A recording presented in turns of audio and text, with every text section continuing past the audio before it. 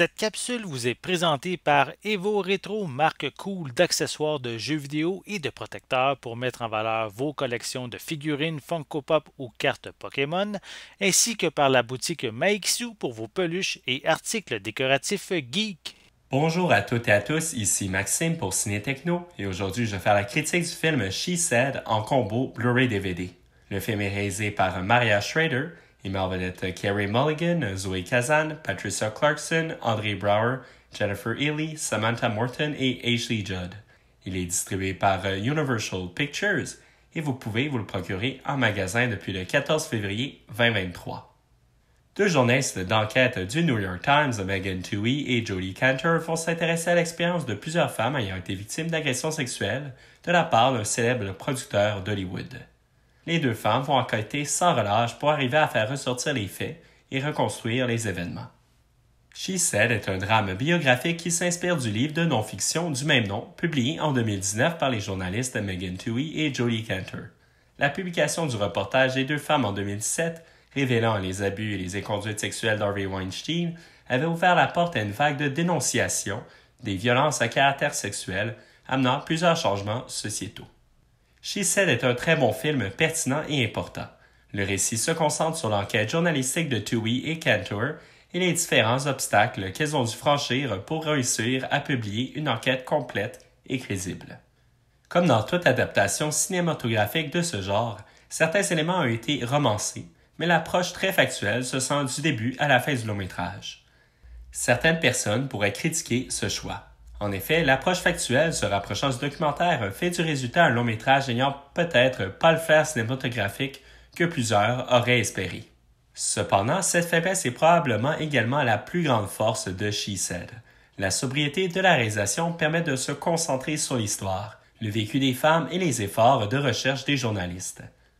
Un long métrage comme celui-ci raconte des événements récents qui sont certainement encore frais dans la tête de plusieurs. La conclusion de l'enquête est déjà connue de l'histoire dès le début du visionnement, mais il ne faut pas négliger le chemin qui mène à cette conclusion non plus. De plus, il en convient qu'il est pertinent de réfléchir à la pertinence du récit dans les médias, mais également sur la trace que le film laissera pour l'avenir. Un long métrage des années 70 comme All the President's Men permet à des générations plus jeunes de découvrir ces événements que eux n'ont pas vécu.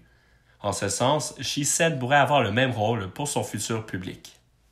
Le long métrage exprime bien les diverses craintes des victimes qui sont réticentes de parler aux journalistes. Il permet également de comprendre les mécanismes mis en place qui découragent les victimes à partager leur histoire.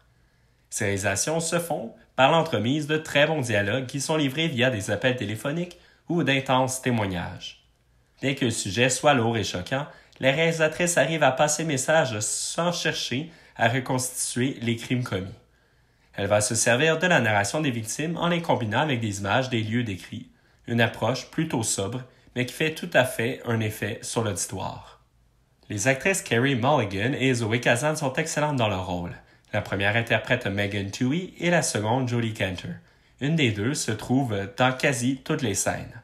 Les deux actrices sont très crédibles en journalistes. Elles arrivent à créer des personnages passionnés par l'enquête, mais également humains, menés par un désir de remettre les pendules à l'heure et de mettre en lumière une situation choquante et injuste. Les diverses actrices interprétant les victimes sont crédibles.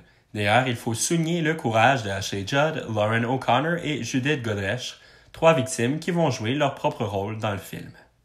She cède un rythme assez soutenu. Il y a quelques moments dramatiques un peu appuyés, mais en aucun cas on ressent une surdramatisation des événements pour le spectacle. L'intensité dramatique est également bien soutenue par l'excellente bande sonore de Nicholas Brittle, qui est accompagnée de la violoncelliste Caitlin Sullivan.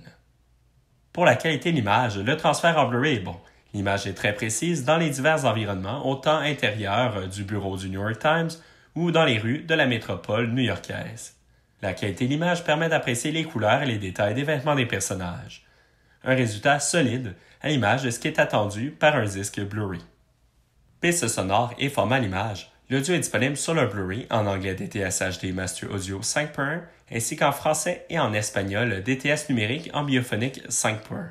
Il y a également l'audio description anglaise Dolby numérique 2.0. Pour les DVD, il y a des pistes en anglais, en français et en espagnol Dolby numérique 5.1 ainsi qu'une piste en audio description anglaise Dolby numérique 2.0. Pour les sous-titres, ils sont disponibles sur les deux formats, en anglais pour malentendants, en français et en espagnol. Pour le format l'image, le Blu-ray est panoramique 1,85 par 1 haute définition 1080 pixels. Pour le DVD, il est panoramique anamorphosé de ratio 1,85 par 1. Pour les suppléments, il y a le segment Breaking the Story, un segment qui permet de rencontrer les deux journalistes derrière le célèbre article du New York Times. Malheureusement, ce supplément ne dure que seulement un peu moins de 7 minutes. Pour conclure cette critique, She est un très bon film qui raconte une histoire pertinente de manière factuelle. Le long métrage propose de solides performances de ses deux protagonistes. Il est important qu'une histoire comme celle-là ne tombe pas dans l'oubli. C'est pourquoi un film comme celui-ci vaut certainement la peine d'être vu. C'était Maxime pour Ciné Techno. Merci beaucoup et surtout, bon visionnement.